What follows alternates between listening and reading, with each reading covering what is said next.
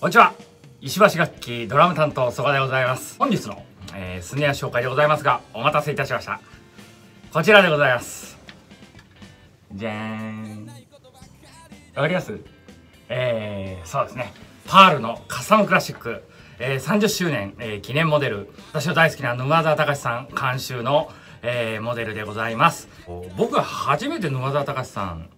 のドラム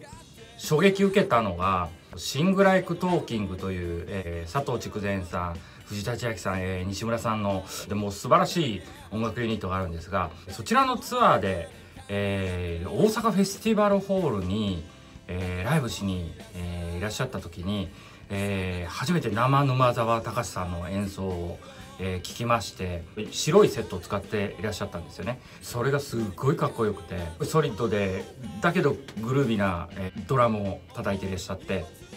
ですごい感動してでそれからずっとファンなんですけども今回、えー、カスタムクラシック。カスタムクラシックっていうのが実はあの19 89年に、まあ、最初のモデルが作られた、えー、年でございます、えー、それからずっとロングスタンダードとして、えー、一応クラシックの方でもあのよく使われてるっていう感じなんですけども普通スネアってこうあの板をこう重ねて、え、それをこうこういう円形に曲げて作るんですけども1枚の板を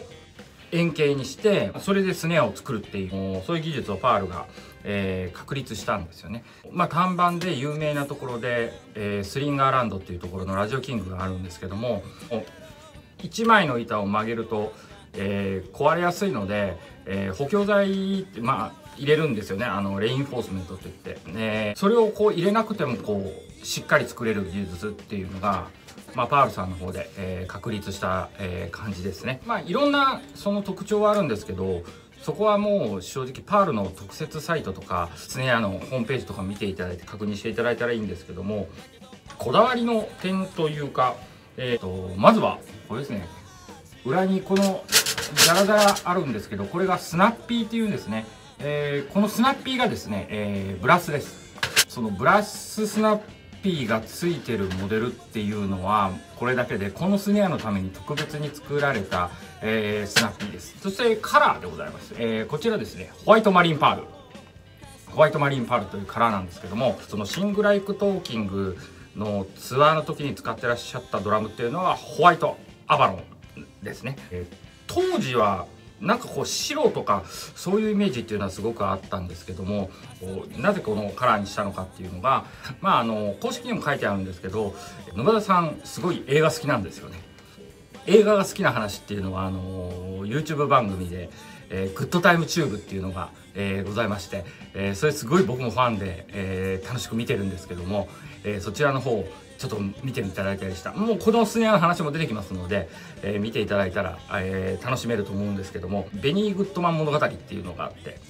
ドラマーがジン・クルーパーっていうすごい伝説的なドラマーがいらっしゃるんですよね。使ってた、えー、ドラムセット、えー、にインスパイアされて、えー、作ったと、えー、結構印象的というか個人的にはそのホワイトマリンパールであったりホワイトアバロン。は個人的にはその沼田さんのセットとかって白のイメージってすごく多いんですけども。あこう綺麗な、えー、カバリングになっております。これも沼澤さんのお好みなんですけどもダイキャストフープって言って、えー、分厚いフープなんですよね。普通のカスタムクラシックっていうのはあのプレスフープであることが多いんですけども方はダイキャストフープ。いうところで、えー、より力強くこう胴にカツンゴツンとくる感じですね。えーと、ヘッドなんですけどうちのお店のやつは、えーと、白用に、えーと、ちょっと野田さんの好きな使い古したヘッドに、えー、うち張り替えておりますが別で取っておりますのであの新品お買いこちらお買い上げいただいた方には新しいヘッドで、えー、そのこだわりのヘッドっていうのは、えー、プレゼントしますがその当時の、えーと、レモンのデザインを当時のデザインにしてっていうこだわりようというところでございます。えっ、とサウンドの方はまああの後で演奏しますんで、えー、そちらの方をちょっと、えー、聞いていただければと思います。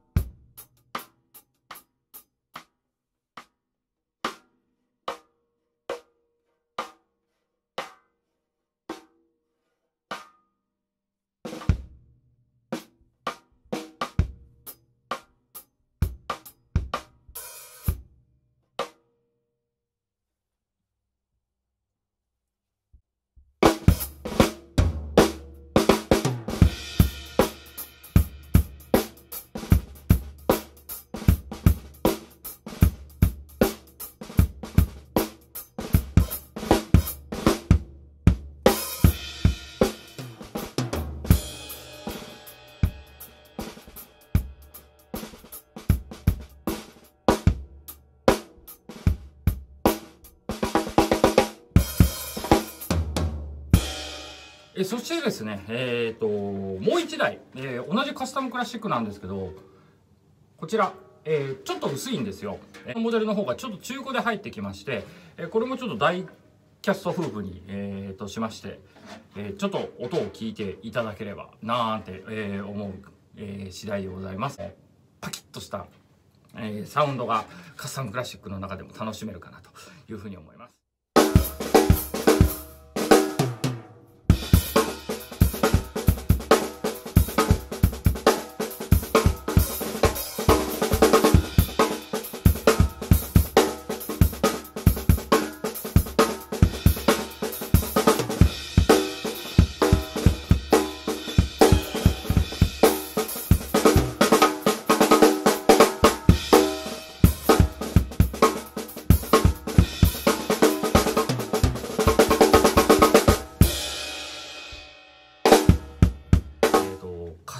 シックの印象なんですけどもこれは非常に個人的な主観になるちゃうかもしれないんですけどまああのスタッフ何人かと叩きいろんなスウェアを叩いててカスタムクラシックってすごくあの演奏してる感じっていうのがあの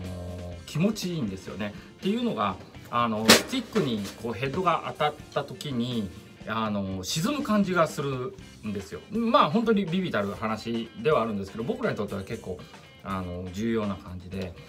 この沈んでいく感じっていうのがすごく気持ちよくてカスタムクラシックってそれで演奏もやっぱり変わるような気はしますね。パンっていう「はいのきつい」っていうよりはすごいファットな音がしてでまあおそらくその沼田さんの演奏全部に言えると思うんですけどもやっぱり出来上がってった音楽を、えー、にの中でそのカスタムクラシックっていうのがどう作用してるかっていうのがすごく重要な、え位置に来るんじゃないかなと,、えーと、ドラム単体でこれを僕を聴いて僕を聴いてっていうよりはやっぱりそのまあ曲があって音楽があって。まあ、その音楽っていうものを引き立てるために、まあ、すべからく全部楽器ってそうだと思うんですけど、あの、まあ、その中ですごくこう何て言うんでしょうこれやっぱ言葉にできないようなその後押しをする感じというか楽曲の印象をすごく綺麗に彩る感じというかやっぱりカスタムクラシックってなんか特別なような気がします。えー、まあ、単板メープルっていうよりもやっぱり本当にそこはカスタムクラシックが特別っていうようなイメージを、えー、受けますね。これからのドラマとかでも、えーと、使っていただきたいモデルでは、えー、あります。以上、えー、沼田隆さん監修の、えー、カスタムクラシックご紹介でした。